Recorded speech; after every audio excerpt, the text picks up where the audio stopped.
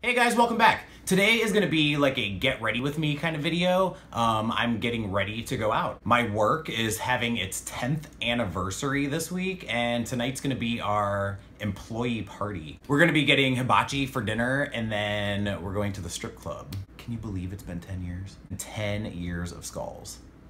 Holy shit. Um, I've kind of been getting ready all day actually. I woke up at 5.30 this morning and I was giving myself a manicure by six o'clock. I actually spent quite a bit of time on skincare already today. Just last night, ordered 18 pieces from The Ordinary.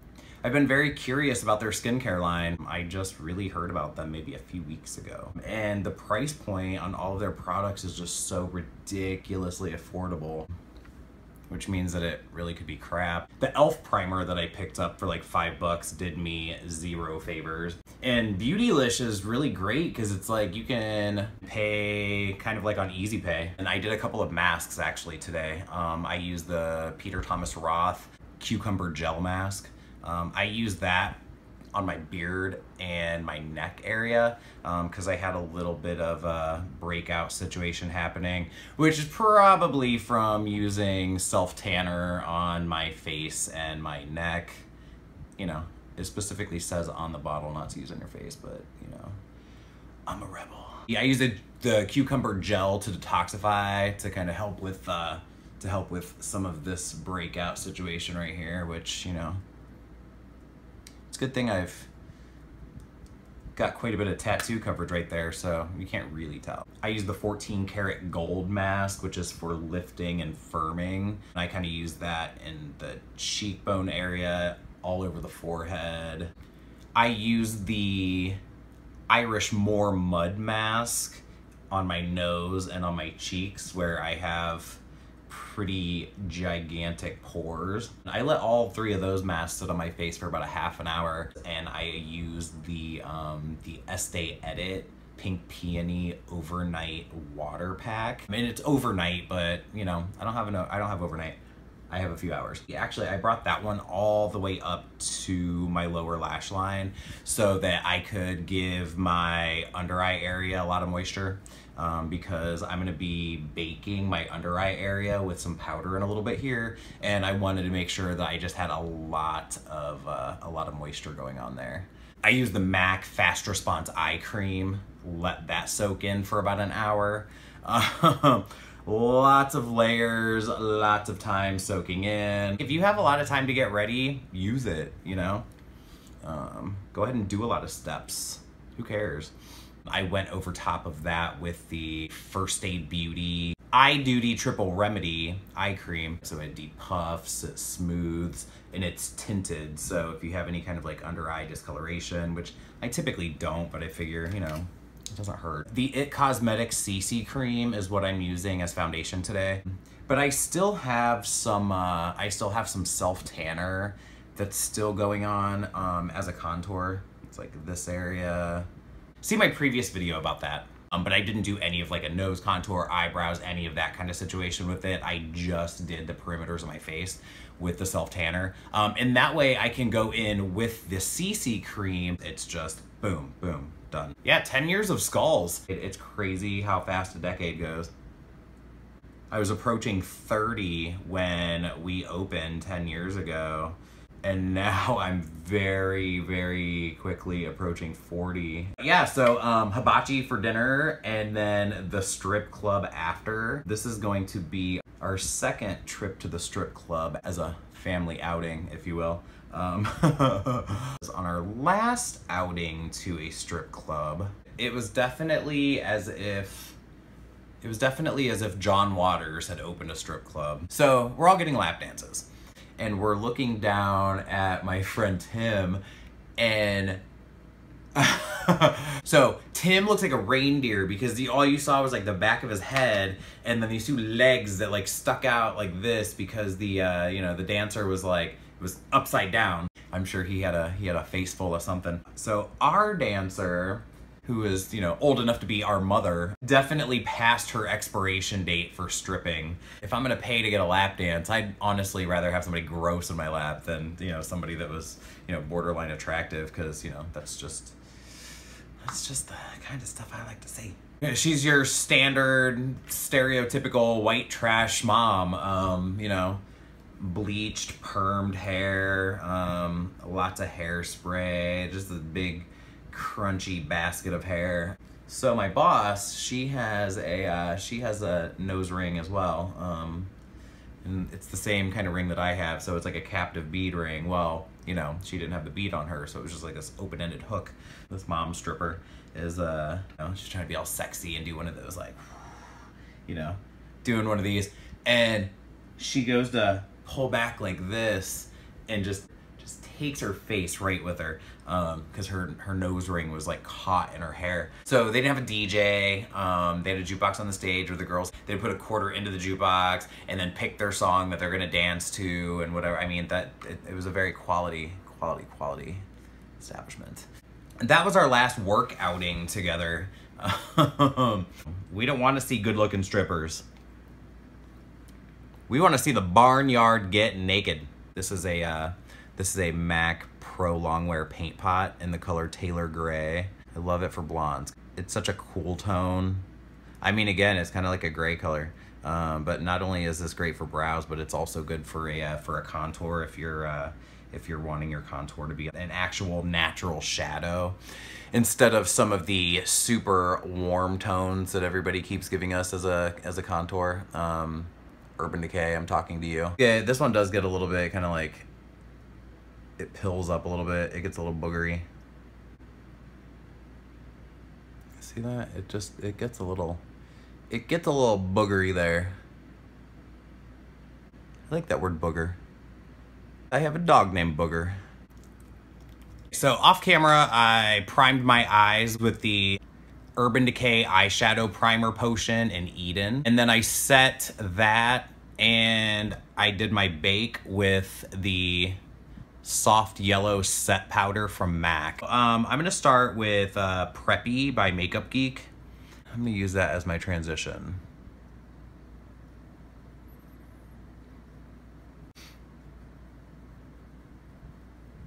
My date tonight is an old friend of mine. We were also roommates for a short period of time. My bedroom was down in the basement and it was kind of, it was like laid out in the shape of an L. So she would go down there and, um, you know, hang out and watch TV. So I have this life-size cardboard cutout of Freddy Krueger. And he kind of hung out in the back corner by the back door. I wasn't at home and I got a I got a text message. She had been down in my room watching TV and out of the corner of her eye had got startled because, you know, there's, you know, there's Freddy standing there. That gave me an idea to kind of mess with her. She had left to go to dinner with her boyfriend and I was leaving for the night. So I took the the Freddy cutout up to her room and I kind of just stuck him right there in the closet. And I left for the night and just kind of waited. Finally, the text message came, and all it said was Jeremy in all uppercase letters. She said she about shit her pants. I came back home, and the first thing that I saw when I opened up the front door was Freddy in a bikini on the stripper pole. Because, yes, we had a stripper pole in our living room. I used to do my eye makeup first and then clean up the fallout and then do my foundation routine. The, you know, packing a lot of powder on there is gonna catch the fallout. And, uh, I actually, I really like baking my under eye area. It seems like it would just make the area cakey and just real dry. But I feel like my skin can handle that. I feel like it can handle a lot of powder. In an hour, it just kind of looks normal anyway.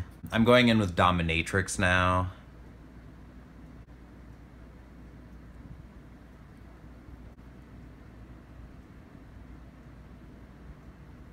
Uh, speaking of Jeffree Star, so his new uh, his new summer collection came out yesterday. I was really excited about the new highlighters. Not even that I was excited about the colors themselves, but um, I really like the packaging. I like that chrome. It's kind of like a rose gold almost packaging. I just thought it looked really cool. I saw that the that the website Beautylish actually had the entire collection as well. So I saw that they had the Ordinary on Beautylish. The way that they have it set up on the Beautylish site is really nice. They've got a page where you can look at all their individual products and what they do and everything. Um, you can also shop by like skin concern. You know, with me being oily and mature skin. Yep, I said it, I'm mature. I kind of did a little bit of shopping in both categories and ended up filling up a shopping cart with all that, you know, plus the Jeffree Star highlighter that I had originally gone there to look for. Um, and at some point ended up ended up taking the highlighter out of my shopping cart um, and then had all of these products in my cart from The Ordinary. I bought 18 pieces of skincare from The Ordinary and I'm just gonna try them out. Uh, I'm gonna see how it goes. You know, sometimes I'll do a lot of research before I buy products, and sometimes I just jump right in right then. I kind of was in the middle with uh, the Ordinary line, and a lot of the reviews on their products really ended up making me put more of their things in my shopping cart than I originally had. Um, and there's one product, it's kind of like a like a topical Botox almost. But yeah, I like the Botox and I definitely like the fillers. Some of you might know that I've had my uh, I've had my lips done twice now. I have two syringes of Juvederm in my lips. I definitely would like them to be a little crazier. So now we are gonna go in with some, which is some black. This is Carbon by MAC. I'm going in with this uh, 221 brush that has uh, it has some dominatrix still on there, and I'm going to blur out the edges of that black eyeshadow that I put on there. I'm going to use one of these Morphe pressed pigments, um, and I depotted them, so I'm not exactly sure what this one is called. Before I go in with that, I'm gonna go in with my MAC eyeliner mixing medium. Um, and I think I'm just gonna put that on my lid with my finger, just so I have something for that to really, really stick to. Uh, so the Morphe Press Pigment actually worked out really well this time. Um, you definitely have to use your finger for application. You definitely have to put it onto a sticky base. Um, it does not work with a brush. It does not work with a setting spray. Um, you can't foil it that way. It just doesn't work. And the edges blend out for shit. Um, you definitely want to just kind of keep it on the lid and soften up the edges with another eyeshadow. Um, I don't know if all of the Morphe eyeshadows work this way, but the press pigments that I purchased, they're all the same. Um, they're very they're very pretty once you're able to get them on. Um, but don't think you're ever blending that out. It's never going to happen. And if anybody could point me in the right direction of a tutorial on how to fix my lighting situation, leave that in the comment section below. As you'll see in all my videos, the light fluctuates from like super bright white to kind of a warm yellowy tone and back again. And it really just seems to be an issue. And I can't figure out how to fix that problem. I'm a total amateur here, so any help with that would be highly appreciated. So I think I'm just gonna go ahead and finish everything else up off camera. I'll be right back with the final look.